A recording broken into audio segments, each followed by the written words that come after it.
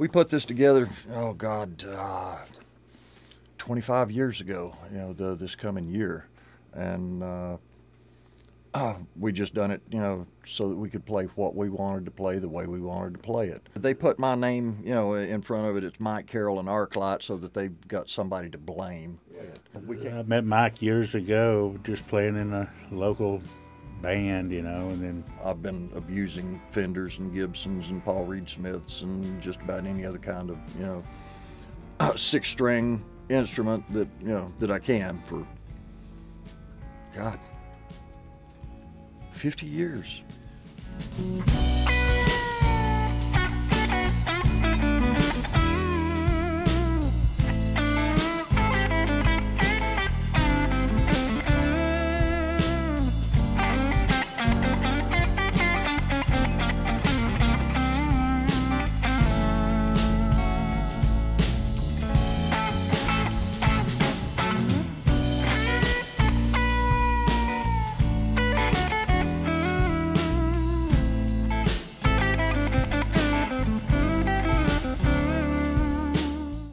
Ah, Mike Marine. I'm the bass player, vocal. Do a little of it all. Back in the day, I used to do high harmony a lot, but uh, that was back in the day. we were doing a country project, you know, country music thing, and then we realized that, uh, you know, we had similar interest in the rock and roll part of it, so we just started on the side. We would do the rock and roll thing, and then just came about from there. The you know the newest addition that we've got you know uh, to this bunch is uh, Muddy Wells, our you know, uh, our child prodigy slide guitar player extraordinaire. This you know this kid came from the bluegrass world and he's just a monster player.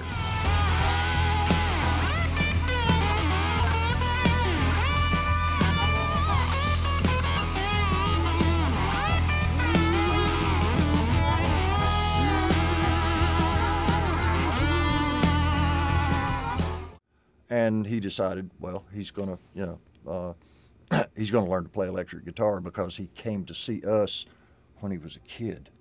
uh, kids were running around uh, with a little Myke Carroll and Arc Light 72 Hours record. I said, Here, man, you got to check these guys out. So we went and saw them at the Kudzu Festival in Dalton when I was, I don't know, maybe 15, 16. So, yeah, I used to pay to see these guys years ago. He's a name that uh, you will hear some more of. I don't know if it'll be with us because we're getting old, but Muddy Wells. I'm not sure that that's his real name, but uh, you know, we, well, we don't question him too much. You know, I, I think he's he may be in hiding for some reason. I'm not sure.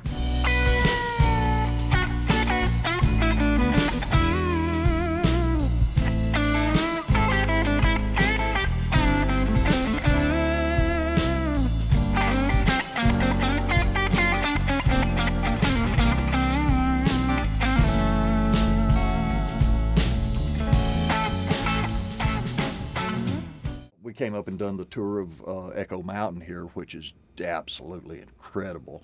And uh, you know, we got out and we're standing in the parking lot, and it's kind of like, you know, th- this is really cool. It's just you know, the the vibe of the whole place is, you know, it just makes you want to be here.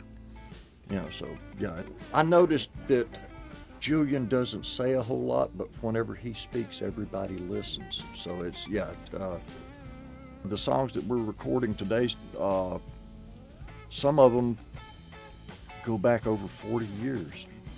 And then some of them we put together in the past month.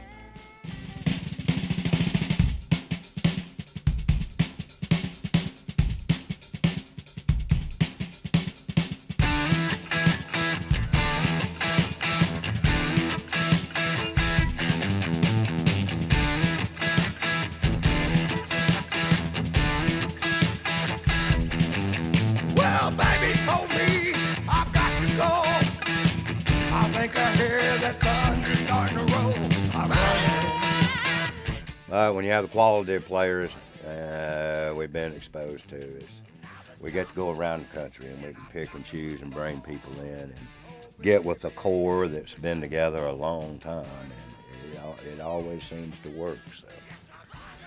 After 25 years, you know, uh, together, what you know, we're all a little bit insane, but we're all insane in the same frequency, you know. So it it, it works out. You saying you bought into crazy?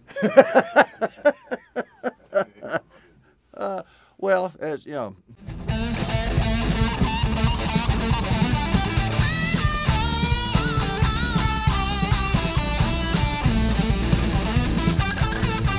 once we get people paying attention, it's kind of yeah. Feel the hair come up on the back of your neck, and you're like, yeah, this is, you know, this is why we're still doing this, you know, at our age. We're uh, we're all over 21. Just attitude mainly, I guess. But music, you know, it covers it covers everybody all the time. It doesn't matter what mood you're in. So that bridges a big gap with us because we speak the language of music, and then people are hungry. So you know, it uh, it keeps everything alive. That's that's the yin and the yang. It's just rock and roll.